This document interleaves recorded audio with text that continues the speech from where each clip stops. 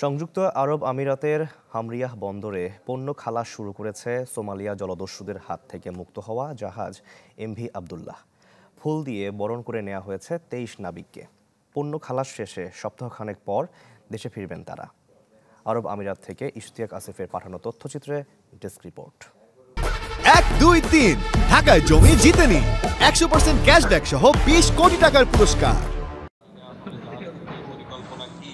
Somalia জলদস্যুদের জিম্মি দশা থেকে মুক্ত তেইশ নাবিককে নিয়ে দুবাইয়ের পাশের শহর শারজার হামরিয়া বন্দরে পৌঁছায় এমভি আবদুল্লাহ। বন্দরে তাদের স্বাগত জানান আরব আমিরাতের রাষ্ট্রদূত সহ মালিকপক্ষ।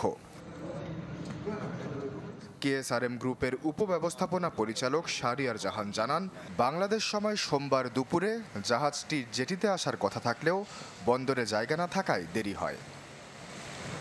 জাহাজটি উদ্ধারে তো আসলে একটা লম্বা প্রসিজিয়ার এটা আমরা অলরেডি এক্সপ্লেইন করেছি।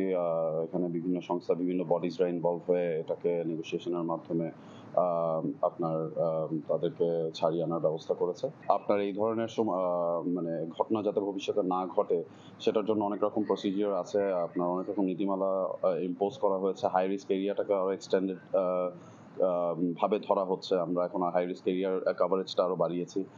জাহাজে থাকা তেইশ নাবিক সম্পূর্ণ সুস্থ আছেন, শিগগিরই দেশে ফেরার অপেক্ষায় তারা। আজকে আমরা সবাই আনন্দিত, খুশি। আল্লাহর অশেষ রহমতে আমরা সুস্থ এবং অক্ষতভাবে আমাদের ডেস্টিনেশন জায়গায় করে আসছি। ও, আমি সবাই কাছে গজবাস এবং বিশ্বে যারা আমাদের জন্য তিন চারটাও সোয়া করেছেন, সেজন্য আমি সবার কাছে কৃতজ্ঞ প্রকাশ করছি। নোঙ্গরের পর বাণিজ্যিকে জাহাজের পণ্য খালাস শুরু হয়েছে। শেষ হতে সময় লাগবে পাঁচ থেকে সাত দিন। এরপরই দেশে ফিরবেন নাবিকরা। Desk report, channel twenty